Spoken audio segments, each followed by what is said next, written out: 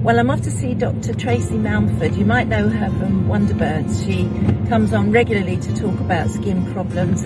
And um, she offered very kindly to have a look at my face for me because I was complaining that one of my sort of eyes is a bit droopier than the other one. I don't know if you can see. But anyway, um, she's going to have a look today and see if she can rectify it for me.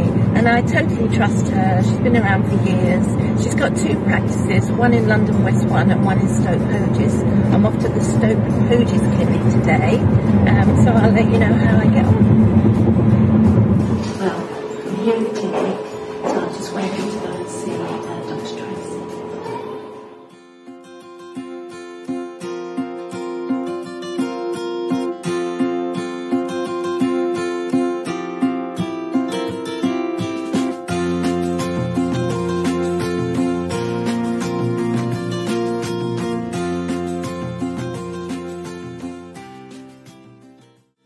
Yeah, so the thing that a lot of people don't realise is as we age, we lose volume in the upper part of our face, and what that does is it causes a drop on the brows.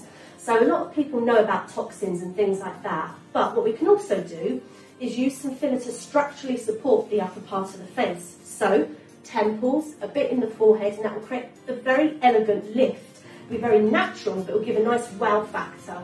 So that's what we're going to do for you today. You won't look like you've had filler, but you will look brighter, healthier, more lifted, more sculpted. Yeah, because I just like to sort of lift this area here a little Yeah. bit where it's just sort of the, the skin is drooping down here and it'd just be nice to lift it a little bit.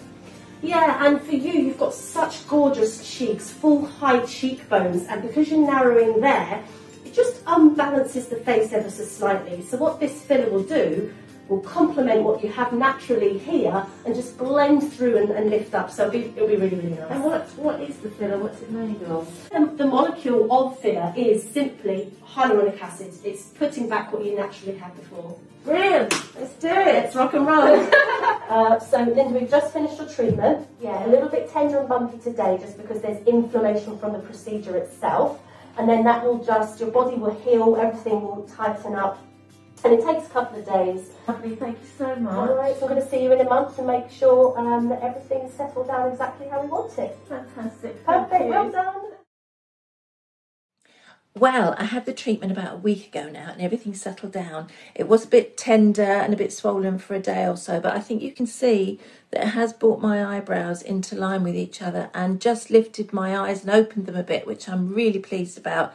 And you can't really see I've had anything done.